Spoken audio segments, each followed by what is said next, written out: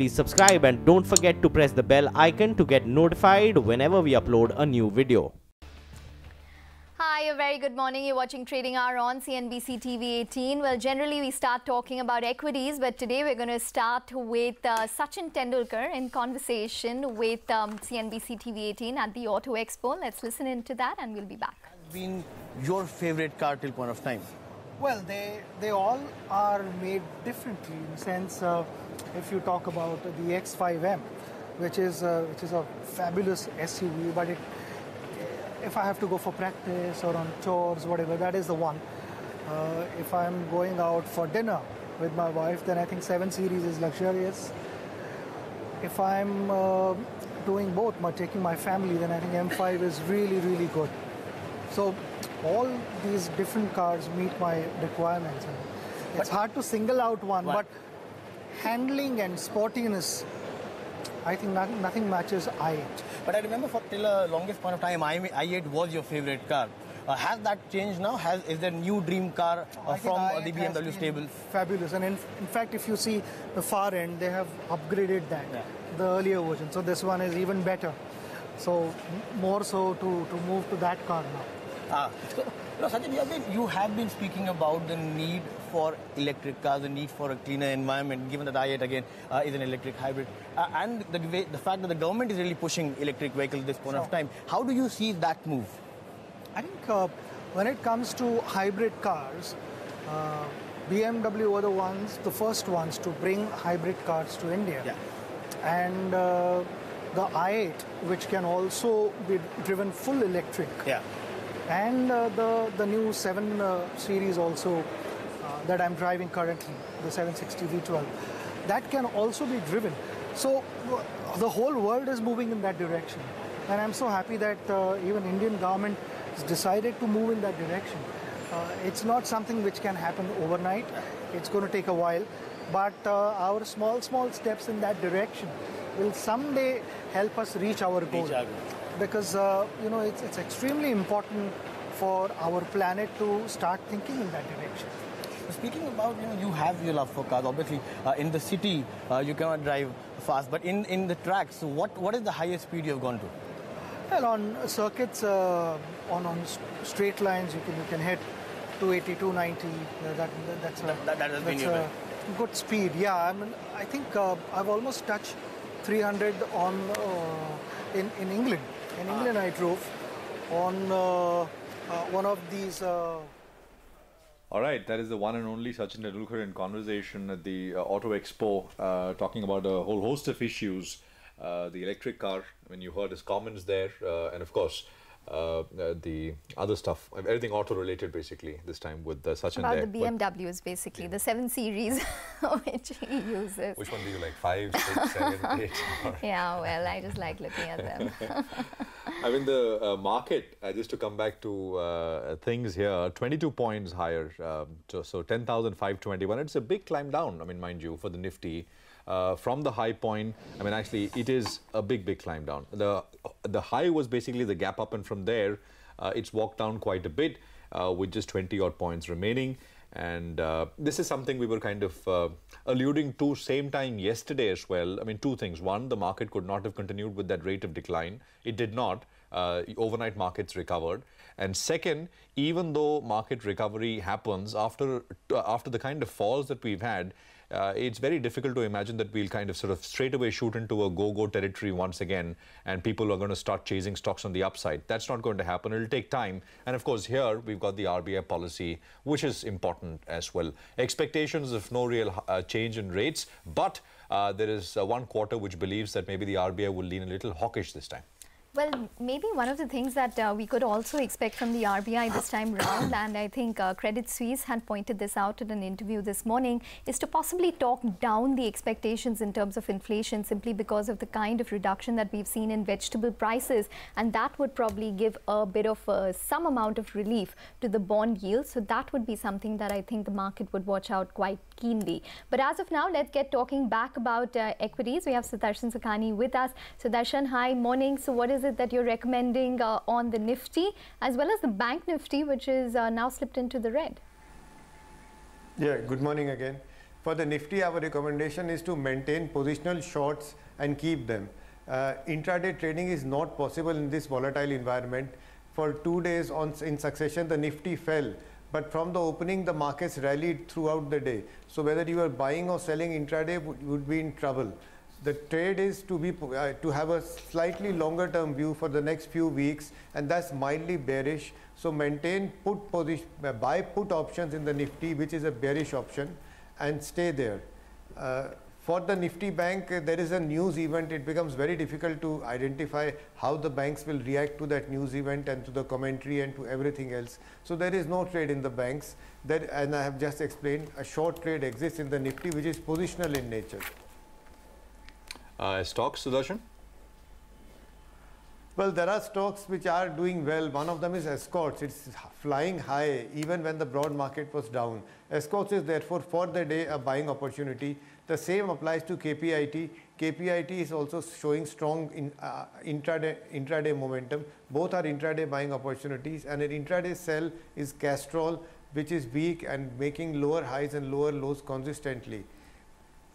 Okay, fair enough. Uh, Sudarshan, we have a couple of Twitter queries now. So the first one is Chavan, 525 shares of ITC at 272, wants to know if he should hold or sell that particular stock. He should hold. ITC is bottoming out. It's built a very large base. So while it will be a market performer, which means that it won't go up if the markets are coming down, it is defensive and the next few months could see some, uh, say, correction in the index. So ITC is a good idea to hold on to for the next few months at least. And I, so I, therefore the suggestion is hold on. Okay, and uh, Monica wants to buy shares of Godrej Properties. She asks, uh, asks what is the right price to enter that particular stock, uh, Sudarshan? Godrej Properties? Sure, it should be around 800 now, and I think he, she should be patient everything should come down in the next few months. So 700 would be a much better, an ideal price. There is a very strong support at 700. So around that zone, if the price comes, you enter it. After that, if there is a mild correction beyond, below 700, don't worry. 700 would be a good price. All right, Sudarshan, thanks very much uh, for that. Appreciate you uh, coming on. I mean, there is a bit of a bump on the Nifty, so I think from uh, being up 20, we're up about 30. 10,527 is where the Nifty is trading at. Let's get a futures and options uh, sort of strategy and sense as well. Yogesh Mehta is Associate Vice President, PCG Advisory, Equities at Motilal. Uh, Yogesh, thanks very much. Good morning. Uh, what, you, what would you be doing in terms of trading?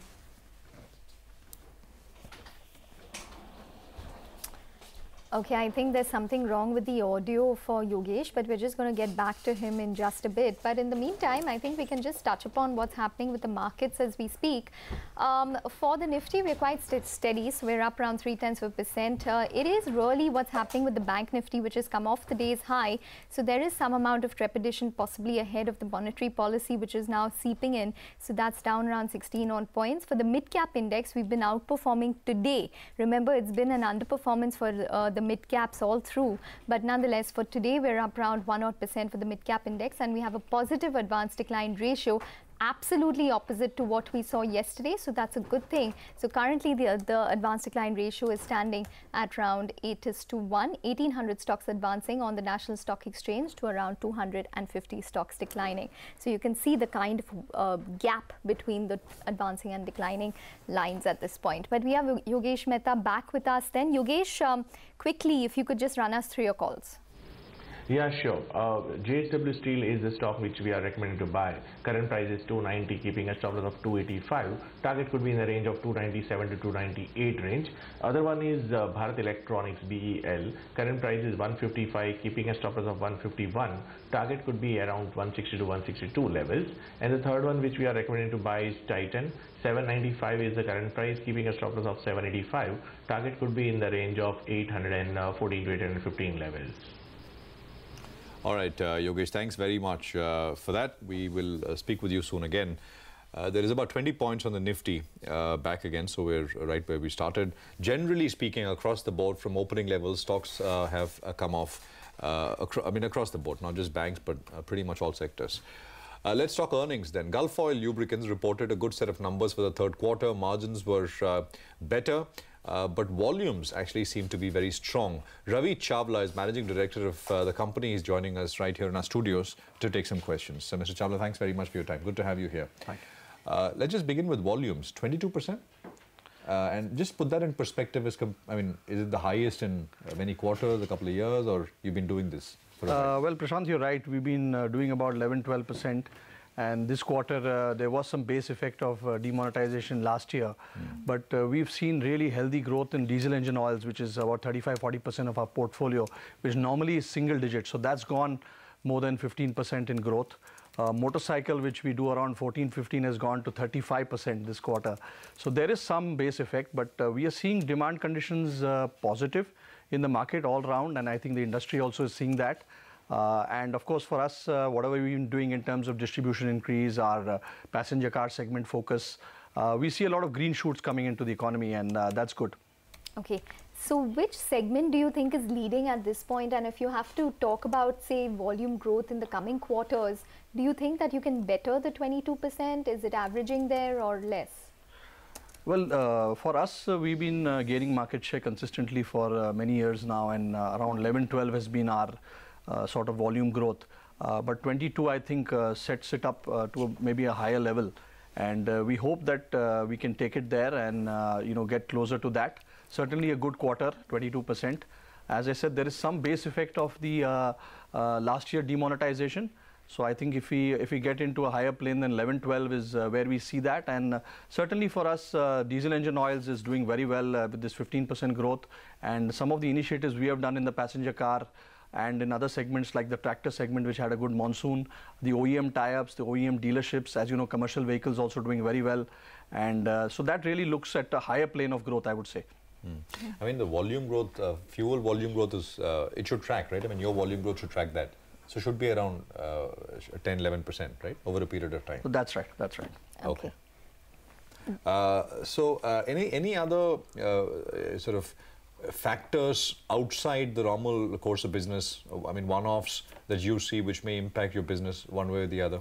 Well, we've just started the Chennai uh, plant, which is going to add uh, a capacity of 40,000 KL, Okay. and uh, that sets us up, us up well to look for new customers, Right. to look at new segments where we have uh, had a lower presence.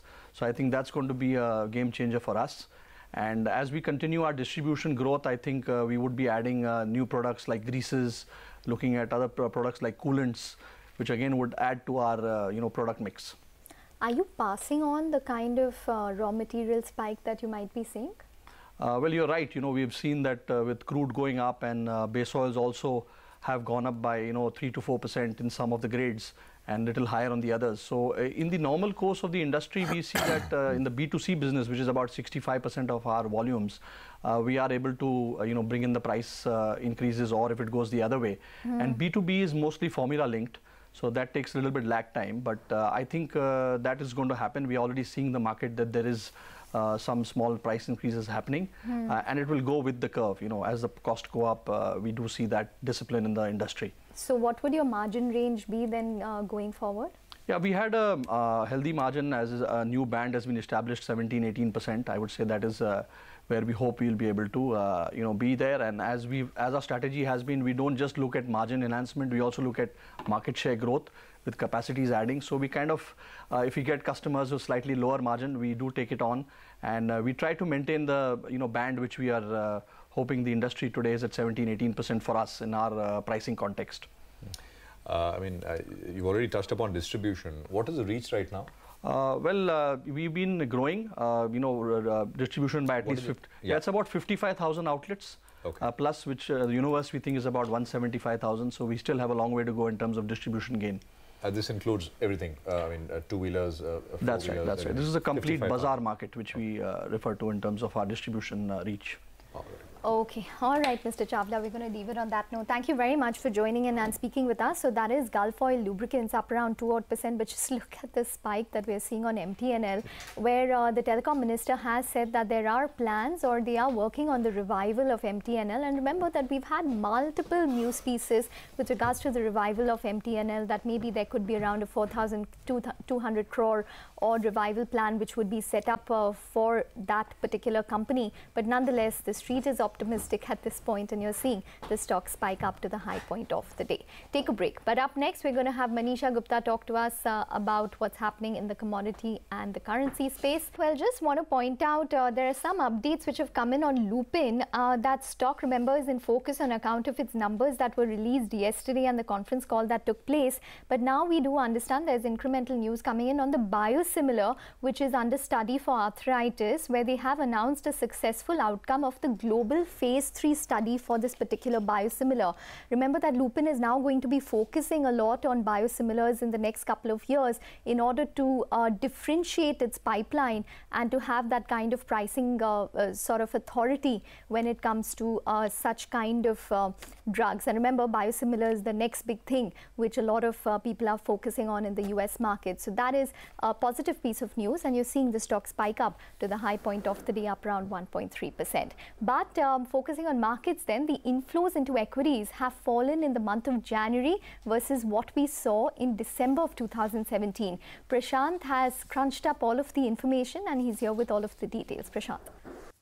The focus, remember, uh, for a while now with the market volatility has been what will happen to domestic inflows. And domestic inflows have meant only one thing now for the last uh, one year, one year plus, is uh, inflows into local mutual funds and uh, what local mutual funds in turn put into the stock markets. While we don't have the numbers for February, for that we'll have to wait uh, a month. We have the numbers for January and we uh, sort of look at these numbers each month. And January, we've seen a drop. Basically, compared to December, we have a 4% drop uh, in terms of money which people have handed over to mutual funds. I'm talking about equity funds. And for the purpose of this analysis, in the first graphic that you're seeing, I've, I've added up uh, direct equity funds, I mean, equity funds and equity ELSS. So the numbers are 15,390 crores in December, which uh, in January, which equity funds have taken in, uh, compared to 16,000, nearly 100 crores in the month of January. So it's down 4%. But mind you, if I look at January 2018's number, and compare it to the monthly average for the last 12 months, the, the January number is still 20% higher as compared to the last 12 months average.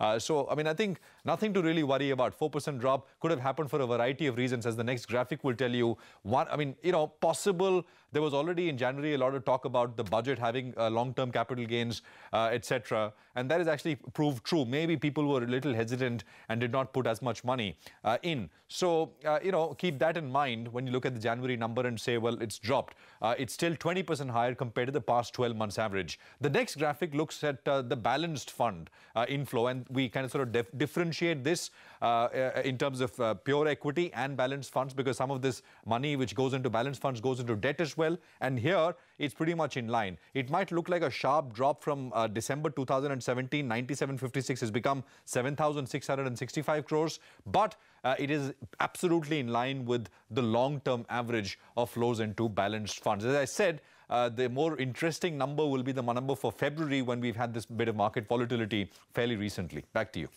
Okay, all right, Prashant. Uh, well, that's the fund inflow data. But we do have Manisha now with us to tell us what's going on in uh, the entire commodity currency space. And she has her eye on sugar today.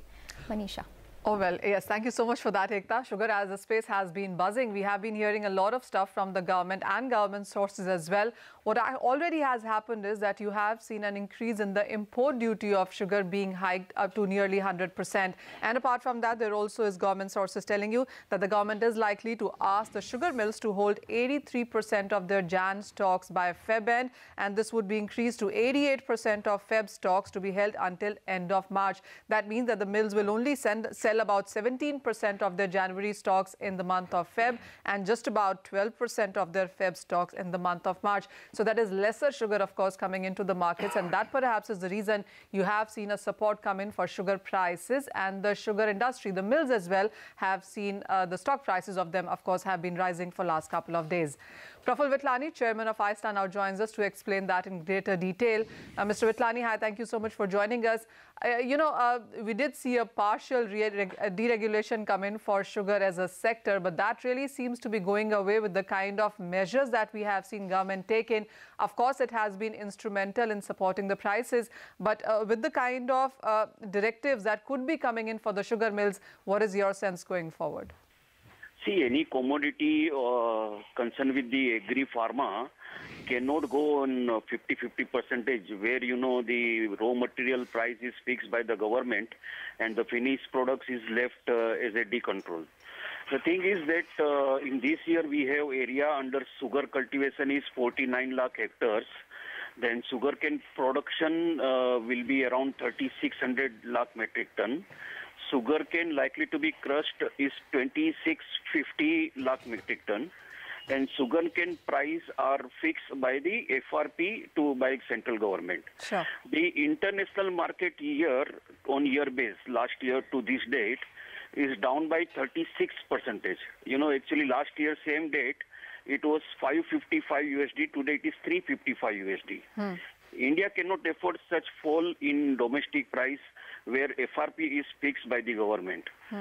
By this policy, bottom line of the industry will shoot up by 10 percentage because we, uh, till now we were expecting that uh, sugar industry for two years it will be you know a loss period but this will uh, shoot up the bottom line by around 10 percentage of all sugar factories Sure. Because but for uh, but for how long do you think that the government keep uh, can keep doing that? As of now, we understand that they can ask the mills to hold on to their stocks until end of March. Do you see that being extended?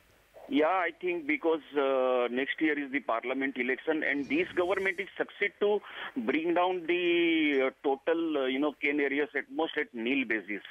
And uh, since the farmers is the uh, first agenda of the central government, uh, this will definitely will help. See, suppose government, the industry will hold to hold uh, hold some stock, but that whole cost is minimized. You know, will be minimal against the uh, recovery price. Means you know to sell the uh, top way revenue. Revenue will be around 10 percentage high by them. So that 10 percentage will give a good balance sheet and profit and loss account to the industry, Sure. which will make sure that the farmers' cane areas doesn't go up. Another, And, uh, yeah, I, I I get that point. Another area really is that uh, about the exports. The exports duty at 20% uh, is what we understand could also be scrapped. Perhaps some subsidy could be given in anything that you are hearing on that front as well. See, in this, our association, All India Sugar Trade Association, AISTA has uh, made the meeting with PMO as well as the Food Ministry, and we had asked for the around 10 to 15 lakh ton of exports under DFIA with 24 months no import. Uh, that type of schemes and maybe this 20 percentage removal, that all uh, means 20 percent removal is only will not work because the international market is too low. Sure. So we will need around, uh, we can say, uh, around 800 rupees per quintal the subsidy. That decision, I think, we can be in March or April. Okay. Uh, very quickly before we let you go, Mr. Vithalani, what's your sense on prices then? Because there is some recovery that we have seen in prices and sugar stocks as well. But do you see it sustaining? Any sense on the prices going forward? Yeah, if this type of, uh, you know, sale uh, restrictions will be there, I think uh, sugar prices will go up by 10 percentage definitely, and that uh, all companies' uh, bottom line will go up. And uh, you know, this is currently we uh, they are selling below cost of production. I think this will suit up having a good margin of uh, net profit margin all sugar industry.